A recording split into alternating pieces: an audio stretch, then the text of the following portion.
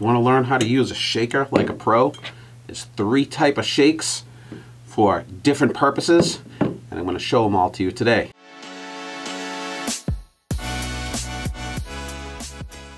Welcome back to The Art of Doing, everybody, we seek to inspire you to practice doing new and different things, explore new interests, and discover new passions. If you're new to the channel, welcome.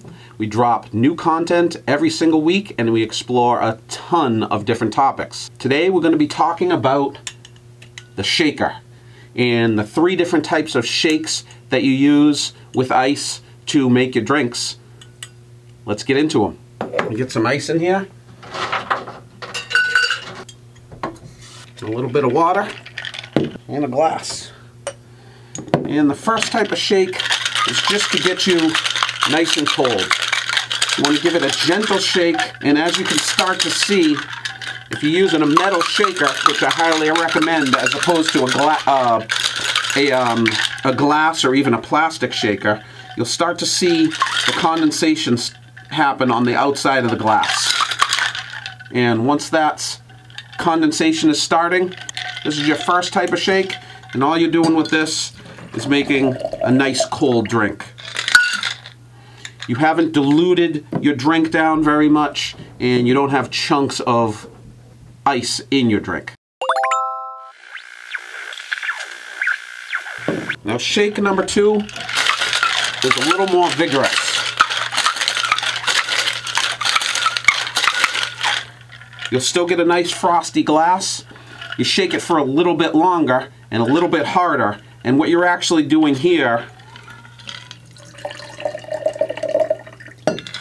your pour will come out the same, you're actually getting tiny amounts of ice into your drink and you're going to dilute this drink down a little bit.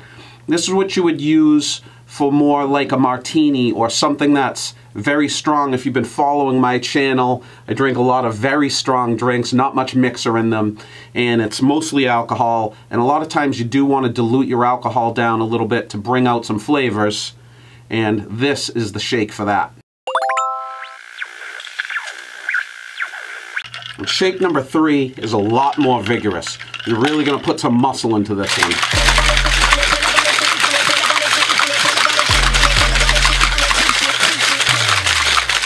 And you probably shake a little bit longer.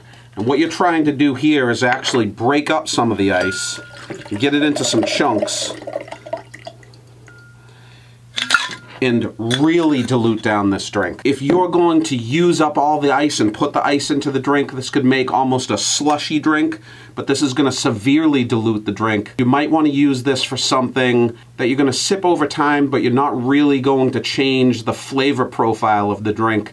You wouldn't wanna use this with a fruit drink that will taste watered down by the time you're done with it. These are the three types of shakes. If you're enjoying this content, give it a thumbs up so I know that this is the type of content that you want some more of. And leave me a comment in the comment section down below. What type of shakes do you use? Do you use any three of these shakes? And are there any more that I'm missing? Thanks for staying with me. Let's always remember to practice kindness, practice compassion, and practice humility. And thanks for being with me to help me practice the art of doing. There's some great videos over here that you might like. Click here to subscribe. And there's a great playlist down here. Thanks everybody.